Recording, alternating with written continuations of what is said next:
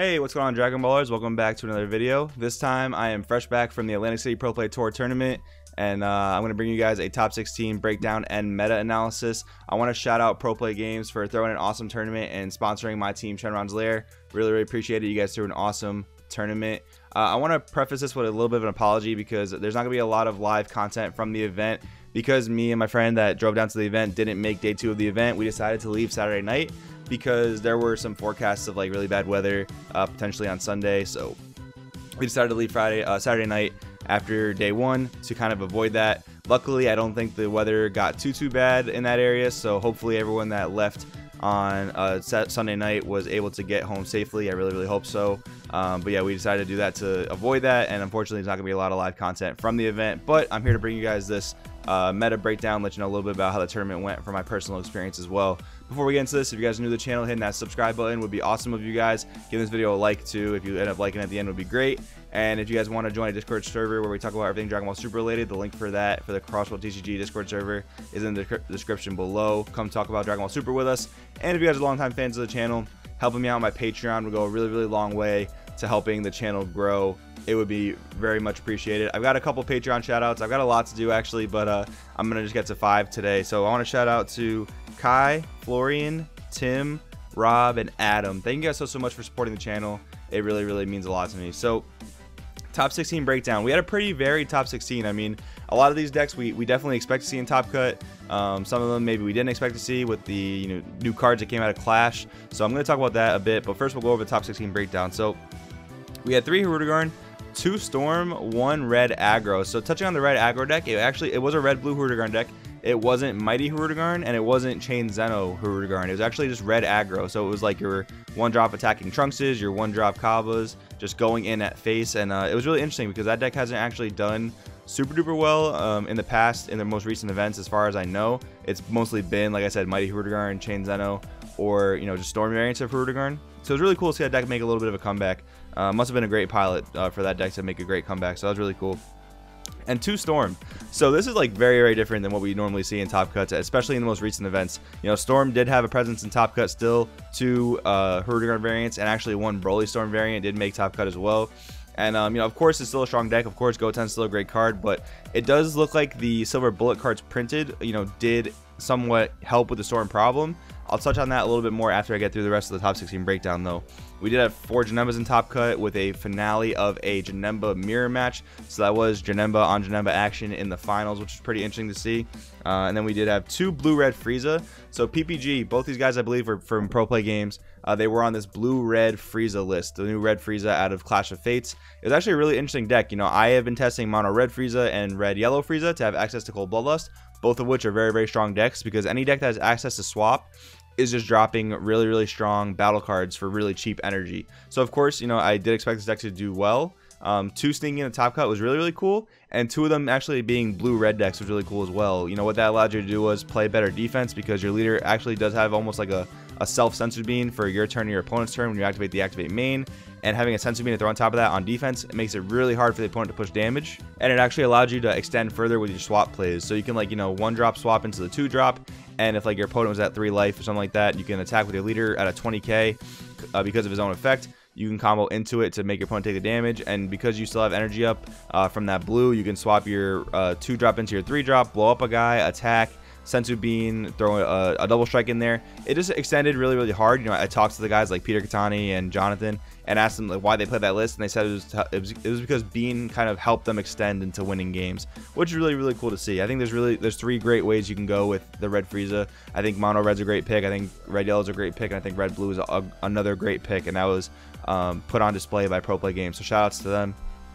And there was one Gogeta Storm. So this is actually the Gogeta from the movie, the uh, the Miracle Strike Gogeta. And this is actually a really interesting meta pick by, uh, I think it was PayPay Gaming decided to play this deck most of their team. So basically, it was your typical Storm, Bara, Goten swap. And on the backside, the leader allows you to create yourself a life and negate all skills on your opponent's side of the field. So this is actually really interesting. Uh, you basically, the point of that would be to negate Borgoses and negate any Gokus, the two-drop Gokus that your opponent had on the board. So you can just go all in with your all your Gotens and uh, all your untapping plays and, and do really big, big plays. The, the only hindrance of this was that you cannot play, I believe, six drops or higher in that leader, so you can't play your Scientist Fu, you can't play your Mirror Creator Absorbed. and you're locked into Union absorbing for the rest of the turn after you do use that leader effect to create yourself a life and negate all your opponent's skills. So realistically, you had to establish your board before using that effect, which I feel like can maybe pigeonhole you sometimes, but overall, I think was a really great meta pick by PayPay Gaming. So that was really interesting to see. I really, really just appreciate that innovation there. So that was really, really cool. And we did have five Shenron decks in Top Cut. So we had uh, one Shenron Boo. Now this is actually uh, definitely a more rogue pick, but uh, I think the pilot of this deck must have just been excellent. Uh, unfortunately, because I was playing the tournament, I didn't get to see him play. I'm probably going to go back and watch his uh, game on stream. But um, Shenron Boo, seeing that get into Top Cut was actually really, really cool. I, if I remember correctly, he was sitting at table one for like six rounds or something like that. So shout out to him. That, that was awesome. And for Gogeta in Top Cut. Now, this is actually the um, second most highly represented uh, deck in Top Cut next to Forge and Nemba. Uh, and I, I, don't think this is really surprising to anyone. However, I am going to talk about the interesting dynamic that I experienced at the tournament in just a minute. Uh, but what was really surprising is there was no Shenron hand control in Top Cut at the tournament. I'm not even sure how widely repped it was. There were many different variants of Shenron I did, I did see at the tournament, you know, between your fun variants like you, Ultra Instinct or uh, um, Jiren. There was also like some other anti-meta Shenron picks, but uh, no hand control, which is very, very interesting. But that's going to kind of tie into the whole end discussion I have here. But Alright guys, so we had the release of Burnish Bonds Borgos and Striving to be the best Son Goku uh, with the release of Clash of Fates. And of course, uh, you know, a lot of people, myself included, thought that was going to hinder Storm. Uh, I never said Storm was going to become unplayable, but I did think it was going to be hindered. And I think this top cut spread uh, kind of shows that to be the case. I mean, from my personal experience of the event, from I played Broly Lineage, which did play the Bardock Goten line, and I saw other players play Broly Storm, and I saw other players play uh, Storm. The deck still did an incredibly strong thing. Even if your opponent had Borgos on the field, you either answered it or you played around it, and um, you don't really need untapping plays to make you know the biggest pushes, uh, especially in like you know for example me playing Broly Lineage or seeing Broly Storm being played, you can still spam uh, Bardock Goten just as easily. The only uh, real issue with that is if they do drop the Strive and be the best on Goku, but actually, uh, myself included and a lot of other people did main deck the Frieza biding his time to answer that Goku. So um, I do think that the introduction of Borgos and striving to be best on Goku did kind of make Storm a bit more fair across the board because you know we did see that uh, much less representation of Storm, and we actually saw an increase in representation of Shenron.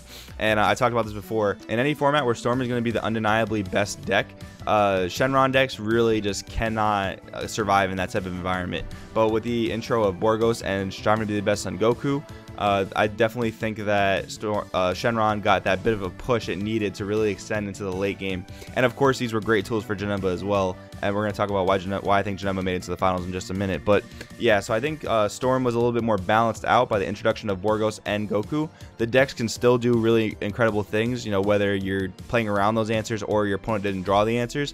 And, and you know, we, they main deck their answers themselves. So like I said, the Frieza biding is time. Eric Hill actually main deck Crisis Cards on Goku to answer the Burnish Bonds Borgos, which is really interesting. So the issue might come where certain decks can't play these answer cards. Like I look at like mono red, like Yamcha, mono red decks, or uh, mono yellow decks. They can't really play like these answers to these to uh, the Storm problem. So I still think that Storm is a little bit overpowered in general compared to the rest of the game. And actually after this event, you know, I wasn't too crazy about the ban list before uh, the I actually went to this event, as you guys might have saw in my ban list video. But after going to this event, I, I can kind of sympathize with the ban list a bit more while Burnish Bonds Borgos and Goku do hinder Storm in any deck that can play these cards, it, it can be a little bit troublesome for any other deck. Um, so I think that removing Goten is pretty okay. I also think removing Annealing Spirit Trunks is maybe okay, although Storm can still do crazy plays without Annealing Spirit Trunks. But um, now you're going to get less pluses off of Gotens, and you're going to be swinging with things like the 2-drop 15k Goku.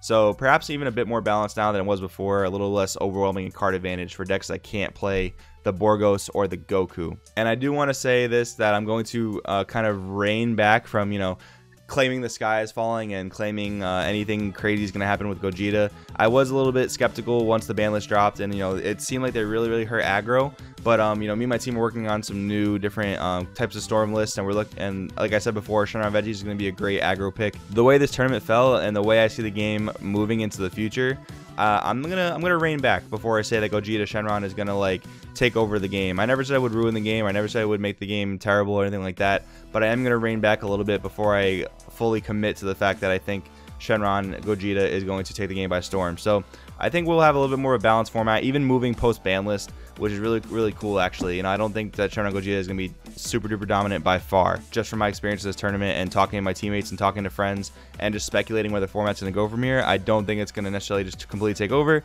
So I'm happy with that actually. I'm really happy that um, my mind was kind of changed on that. So if you're out there and kind of worried about Gogeta Shenron, I would just I would advise you to uh, take a step back, work on some aggro decks, you know, playtest any you might see online, and let's wait for results. You know, I, I'm guilty of this, so I'm not gonna you know condemn anyone for it, but I jumped the gun a bit, I think. And uh, I'm actually really excited to see how the format shapes out from here in regards to Storm, Aggro, and Gogeta in general. Alright, so let's talk about the deck to beat coming out of Pro Play Tour Atlantic City, which is going to be Janemba Mill. So Janemba Mill, like I said, did make it to the finals. It was actually a Janemba on Janemba mirror match. So uh, looking at this top 16 spread, of course, the most highly revved decks were Shenron, Janemba, and Storm. Uh, those were the that was kind of the triangle of the format with some other decks sneaking in the top 16. And if you look at it, Janemba really has a great matchup to Storm and Gogeta. Shenron. So in regards to Storm, Janemba Mill is just incredibly, incredibly turtly. I mean, round one, I played against a Janemba deck and I, I won by the skin of my teeth because that deck just has so much combo potential between uh, eight fake super combos, their real super combos, six to eight negates in the main deck. That deck is just so defensive and so turtly that it actually is a really rough matchup for uh, aggro and storm decks in general. No surprise I was able to beat out Storm there. And then in, re in regards to the Shenron matchup, I mean, the deck, the Shenron decks already take 14 cards out of their own deck between uh, the searching seven Dragon Balls and the, and the, Dragon Balls drawing cards, and then you have your super combos. You have any of your cards that plus you, like your Battle Vegetas or your five drop Gogetas. So you're just thinning your own deck out so fast that you're really making the game a little almost easier for Janemba. So no no wonder it has a great matchup there as well. All the deck has to really do is try and set up you know Vegetos and uh, hope they draw back into their six to eight negates after you get Gogeta seven, and they're gonna survive. They're gonna mill you out. It's gonna be really really rough.